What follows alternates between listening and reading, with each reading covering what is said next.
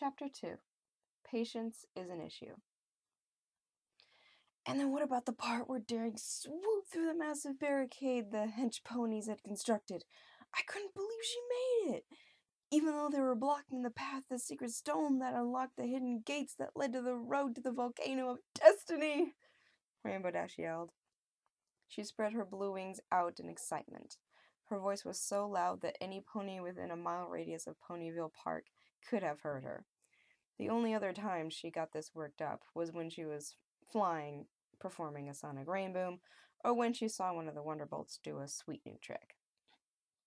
Spoiler alert!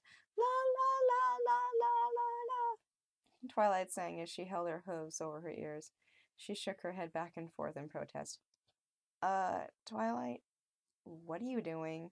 asked Rainbow Dash, raising a skeptical eyebrow. Don't you want to talk about how she totally this so totally awesome the book is?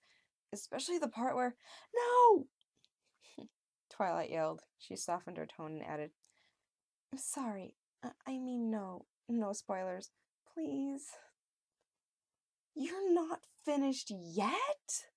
Rainbow whined, doing a dramatic twirl before falling to the ground. This is the worst. I thought you, of all ponies in Equestria, would be done reading it by now. Don't eggheads like you just, like, look at books and absorb what's in them anyway? She groaned. Twilight smirked. Something Rainbow said. Sometimes Rainbow said things that sounded harsh but were really compliments in disguise. Whenever she called Twilight an egghead, she really meant that she thought Twilight was smart. Well, I can speed read, but this is a book I really want to savor and enjoy. Twilight held up her copy.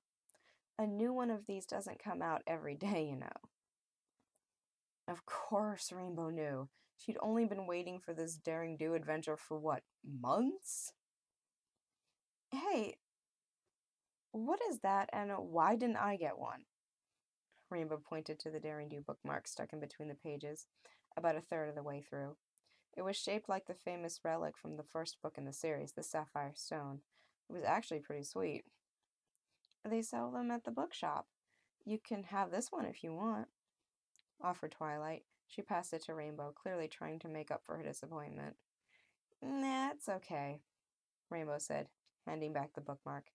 It was a nice gesture, but Rainbow Dash's number one problem still wasn't solved.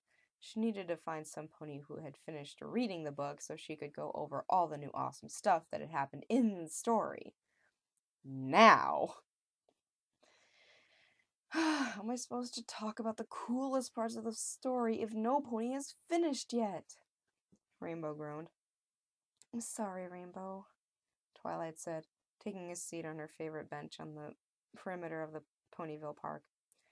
But I'm going to take my time. Then she opened her book and got settled for a slow, rel- relaxed reading session.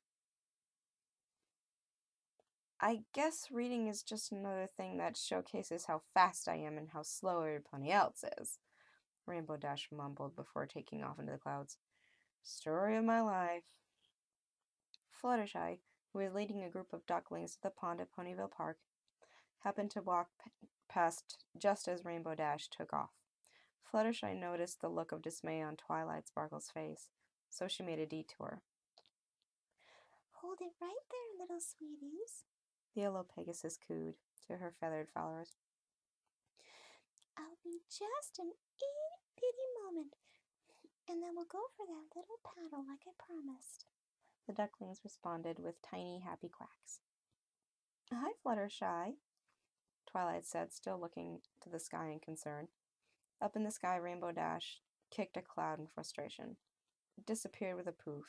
She frowned and looked up. She looked for another puffy cumulus to take her anger out on. Is something wrong with Rainbow Dash? Fluttershy asked, looking toward the sky. She seems a little down. She wants to talk about the new Daring Do book, but no pony's finished reading it yet, explained Twilight. She furrowed her brow in concern. Oh, I just started reading it, said Fluttershy. but I had to put it down to take care of my daily duckling duties. It's quite good so far. I just wish there was something we could do to help her. It's so great to see a pony so excited about reading, Twilight sighed. If I had it my way, every pony would read all the time. Then we'd have meetings and discuss what we learn and exchange ideas. So why don't you do that? asked Fluttershy. It seems like fun. Fluttershy, that's perfect, Twilight replied, standing up. We'll plan a daring do book club, and we can hold it at the library.